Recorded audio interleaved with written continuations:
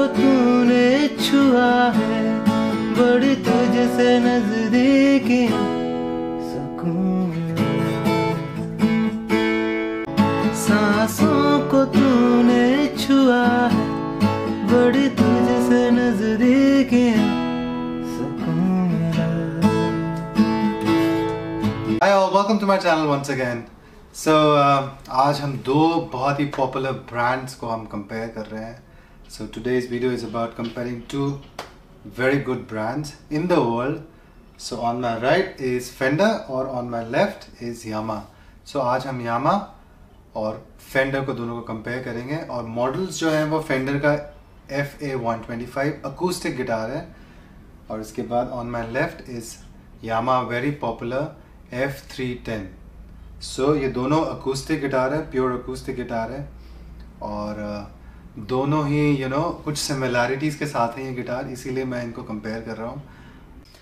Alright, so um, on my right is FA125 from Fender और on my left is Yamaha का F310. So कुछ first of all हम similarities की बात करते हैं दोनों में सिमिलैरिटीज़ क्या क्या हैं? सो so, सिमिलैरिटीज़ ये है नंबर वन कि ऑलमोस्ट जो लेंथ है फेंडर का और यामा का इज़ ऑलमोस्ट ऑलमोस्ट सिमिलर बिल्कुल एग्जैक्ट सिमिलर नहीं है 41 इंच जैसे ये 41 इंच का ये 40.5 है। सो हाफ़ इंच इतना सा फ़र्क होता है तो which is like almost almost similar length है ये दोनों के। So that's number one similarity number second similarity कि दोनों ही you know dreadnought guitar है। सो अगर हम यू नो प्रॉपर इसका जो टर्म होता है, वो है कि ये ये traditional western dreadnought shape है दोनों का। So you see the shape of this guitar is traditional western dreadnought और ये यामा का भी आपको सेम शेप देखने को मिलेगा traditional western dreadnought shape so बिल्कुल बिल्कुल सिमिलर है ये दोनों गिटार और now the third similarity है कि ये दोनों ही यू नो फुल जो कंस्ट्रक्शन है इसका ये लैमिनेटेड कंस्ट्रक्शन है। सो so, इसका टॉप इसका बैक इसका साइड्स नेक ये सब कुछ लैमिनेटेड है। प्लस इसका टॉप इसका back sides and also the neck is a laminated wood so ये लैमिनेटेड वुड है दोनों ही लैमिनेटेड वुड में कंस्ट्रक्शन है इनका। नाउ द फोर्थ सिमिलैरिटी है कि इसका जो टॉप है और जो इसका टॉप है फेंडर का और यामा uh, का ये दोनों का टॉप स्प्रूस का टॉप है। So this is also similar और इसके बाद जो और कुछ ऑलमोस्ट ऑलमोस्ट गिटार की जो ऑब्वियसली ऑब्वियसली मैन्युफैक्चरिंग होती है वो लगभग लगभग गिटार एक जैसे ही मैन्युफैक्चर होते हैं। सिक्स स्ट्रिंग्स होता है यू नो पिक गार्ड होता है रोजेट होता है बाइंडिंग्स होती है वो सब तो है ही ऑब्वियसली सिमिलर है। So now we come to the differences की डिफरेंसेस क्या है इन दोनों गिटार्स में? So let's begin with the first difference और so now the first difference जो इन दोनों गिटार्स में अब टॉप क्योंकि स्प्रूस का है जो सिमिलर है तो जो फ़र्स्ट डिफरेंस है वो है इनका बैक और साइड्स सो so, जो आप अगर अब देख रहे हैं this is the back sorry this is the back and this is the sides so ये बैक एंड साइज़ जो बना हुआ है ये यू नो लैमिनेटेड बेसवुड से बना हुआ है। और यामा का जो बैक एंड साइड्स है ये यामा ने यू you नो know, हम अपने वेबसाइट पर डिस्क्लोज नहीं किया। हमेशा जब भी हम रिव्यू भी करते हैं एफ़ थ्री टेन को तो हमें पता नहीं है। बस ये कहते हैं कि टोन वुड है। ना विच टोन वुड कौन से कौन सा स्पेसिफिक वुड है वो उन्होंने हम कभी मेंशन नहीं करा है ना ही बताया है। सो दे से कि this is locally produce tone wood so हम अज्यूम करते हैं कि इंडिया में मैन्युफैक्चरिंग अब इसकी हो रही है यामा एफ़ थ्री टेन की। पहले ये इंडोनेशिया में होती होती थी but now the manufacturing is in India so ये इंडिया का एक लोकल प्रोड्यूस टोन वुड है so this is different so this is इसका बैक एंड साइज़ जो है वो टोन वुड है और इसका जो फेंडर का बैक एंड साइज़ है वो लैमिनेटेड बेस वुड है.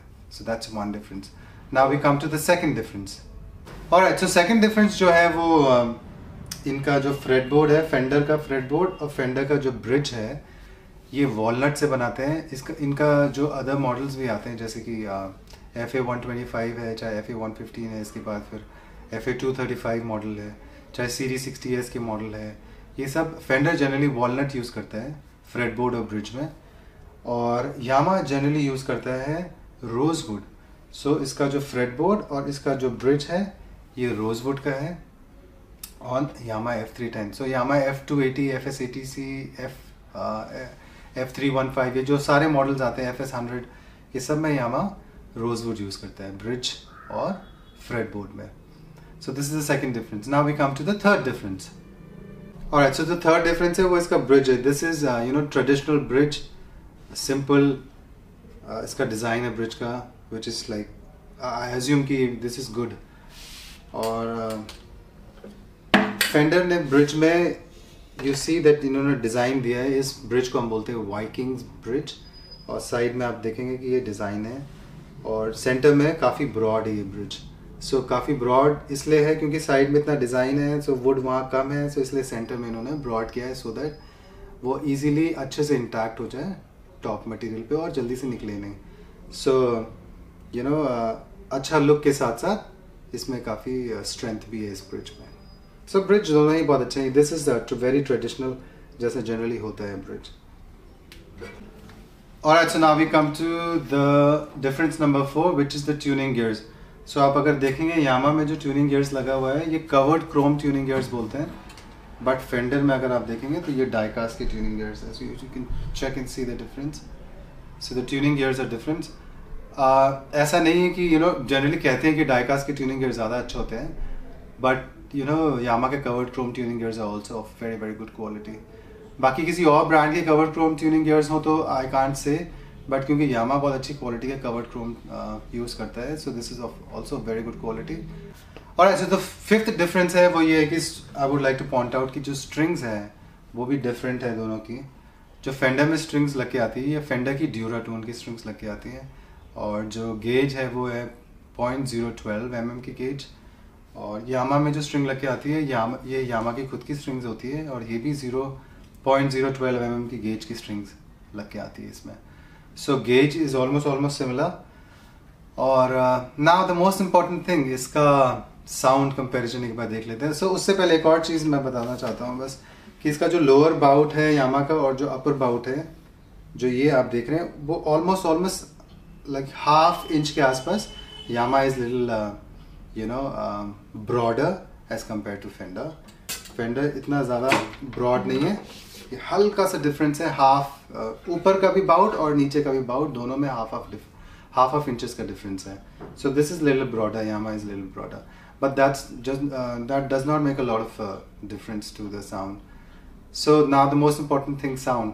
देखते हैं sound uh, difference क्या है दोनों में।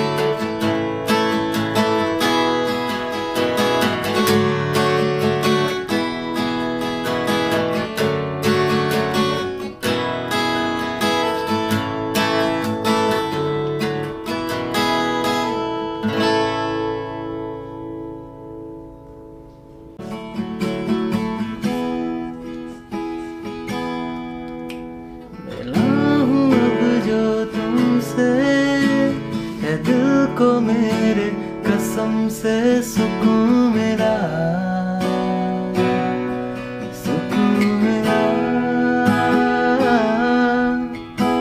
तुझे पाया रब से दिल को मेरे कसम से सुकून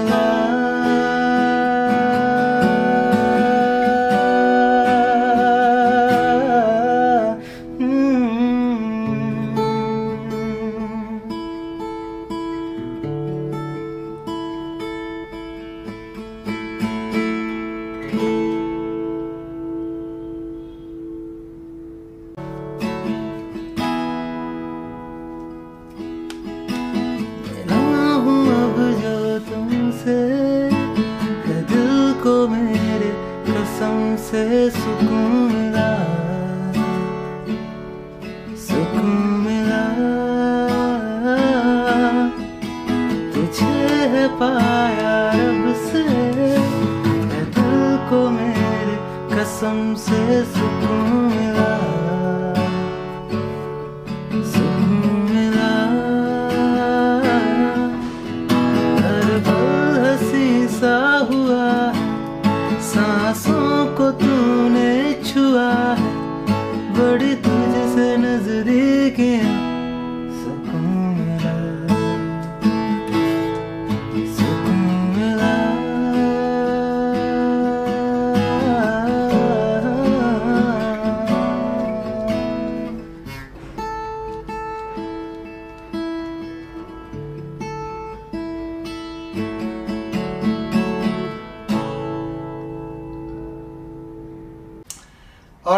Finally हमने इनको बजाकर भी देख लिया है इनके मटेरियल स्पेसिफिकेशंस ऑब्वियसली देखे। हैं सो मटेरियल स्पेसिफिकेशन में लुक uh, वाइज uh, मैं पॉइंट्स देना चाहूँगा फेंडर को। Fender looks really really nice अगर आप देखना चाहेंगे तो।